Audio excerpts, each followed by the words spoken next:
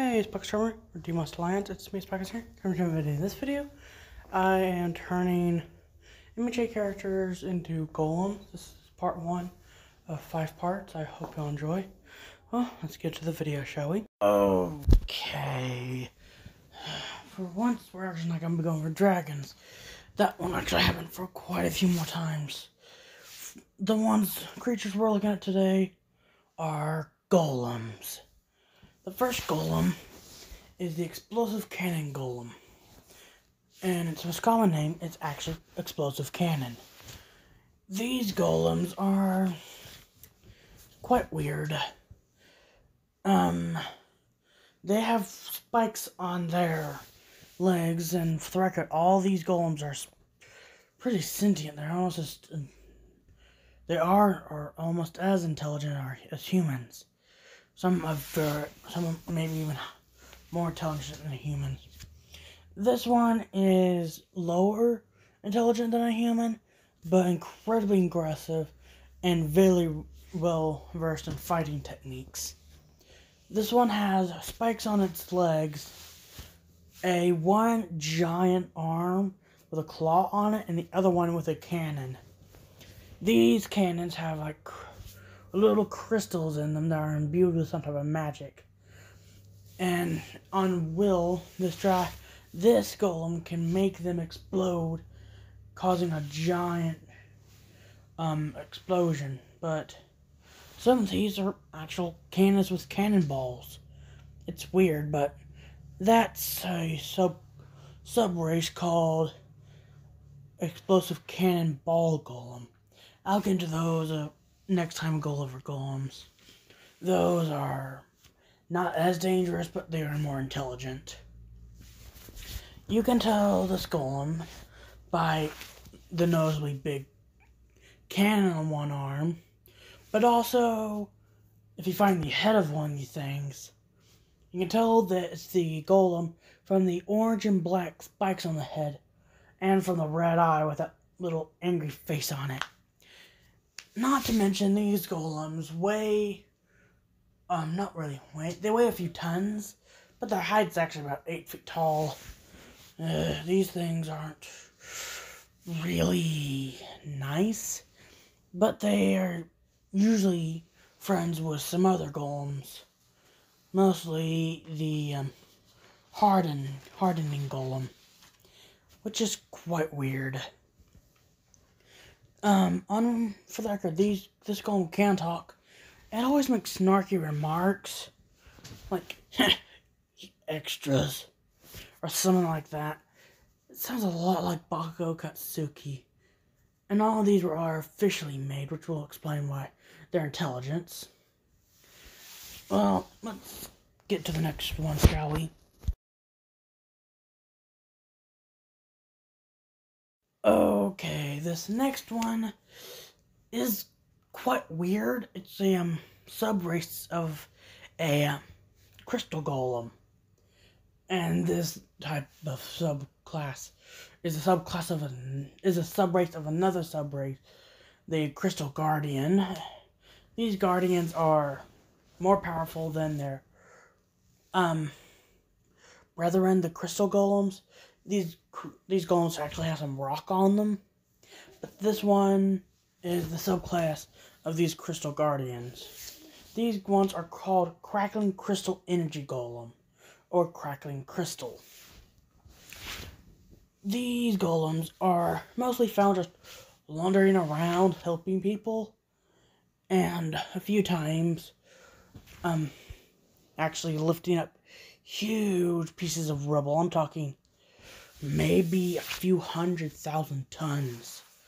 And get a load of this. They're actually only about five feet tall and only weigh around a ton, whereas these others weigh around three tons. So they're quite light, to put the least. They mostly get their name from the crackling part.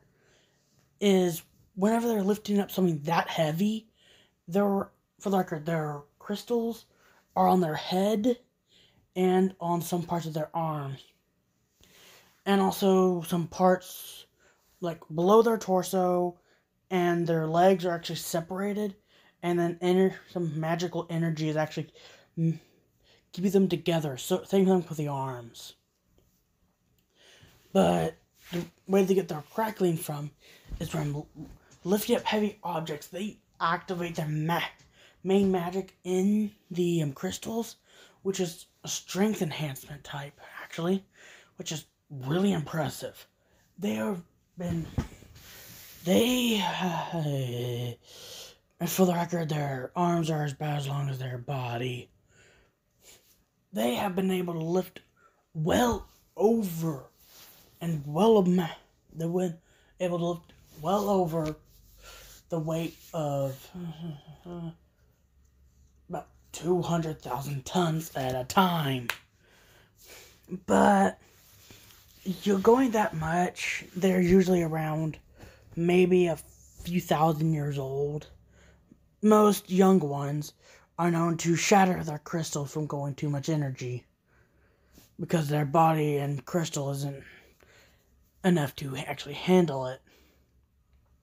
These golems are very nice and also they the energy crackling off of them and their own crystals are actually a um, bluish turquoise color. But the veins that appear on the rock are actually a um red color. And these ones speak like they are really intelligent, which they are. They have, they know a few things. Not to mention they know a few good fighting techniques. So let's get to the next one, shall we? And trust me, this one's weird.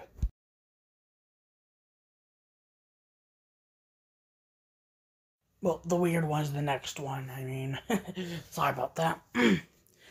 this one was the one I was talking about that was friends with the explosive cannon. These golems are known as the tough hardening golem or tough hardening. These golems are mostly known to weigh around two tons, have a height of around seven feet tall. Well, technically about closer to, yeah, they're about seven feet tall. They are noticeable for their red rocks they like his hair. And their shoulder and their arms where their arms are it's like there's two spikes on that. But and they have two giant forearms with giant claws. And they have like this weird black strap going across no idea what that is about and their but the way they get their name is from their weird ability to actually harden their bodies. They are known to be able to withstand about a half about a half power to punch from a um, from the crackling from the crackling crystal. Which certainly is impressive in and of itself. But they're also known to go near unbreakable the only ones that I've been able to see that are able to destroy these guys are the um, crackling crystals. That's how they got their name, the um, tough hardening, because they were pretty tough to beat. Not to mention their rocks are still really tough. The rocks they're made out of are a rare type, and there's actually a few thousand of these ones, which is impressive on how hard they are. These are mostly known to protect people, but mostly are for defense, and they mostly patrol the outer walls of a giant city or something. And a few times actually patrol castles. Um, but they mostly like partying up with their, um, with the explosive cannon golem on the count that they can get a good fight out of it and they can get and fun fact about these things whenever their rock is broken it actually grows back weirdly enough and becomes stronger so yeah. They are mostly known just to stay in there in their unbreakable form and it's only lasting for like a minute or so but trust me it's near impossible to penetrate them i throw an rpg at one and absolutely nothing I've even used um, a crackling crystal that I'm talking about little gem from a crackling crystal golem that he gave me. That one gave me. I punched the thing. It shredded the flesh on my arm, but thanks to my magical healing capabilities, that healed fast. But not even a dent on that thing. Now let's get to the next one.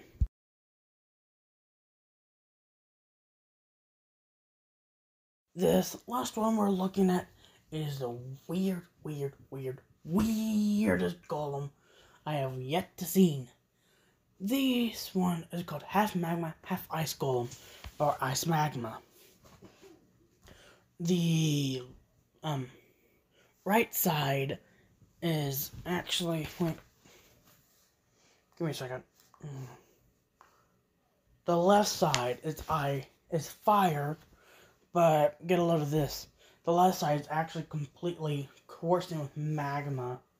And, oh, and for the record, they are way around um, two tons and are around eight feet tall. They're actually not as strong as the tough hardening or the explosive cannon, but still strong in their own right. One side is completely their left side, I mean, is completely coursing with magma, and fire comes off their head, their forearm, and their actual arm, their waist, and their leg. And you can see the lava coursing through them. It is very powerful, and it can control fire, and it can shoot fire from its hands, and from its eye, half its eye. But I mean by half, one half is darker than the other. Now back to the eye, it's actually half blue, half red. Red on the left, blue on the right. Now that is quite weird. Now the other side is the even weirdest part. It's made of ice. Not really ice, ice, it's a rock. They have the magical capability of making ice.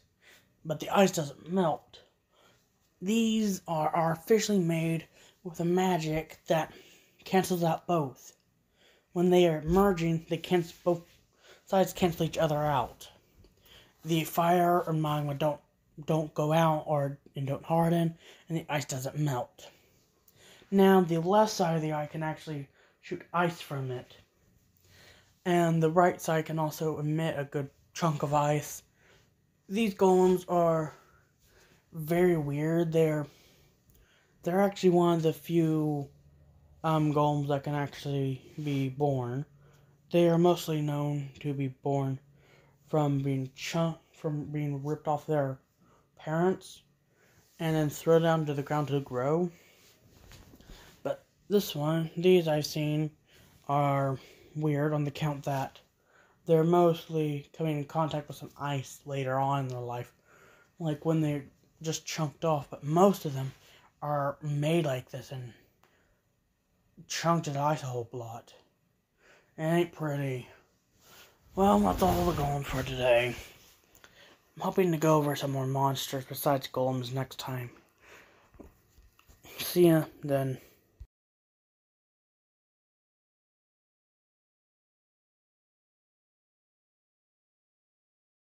Well, I hope you enjoyed today's video. Well, anyways, subscribe to Joe's Buckstormy or Demonster Lance. Goodbye and peace out.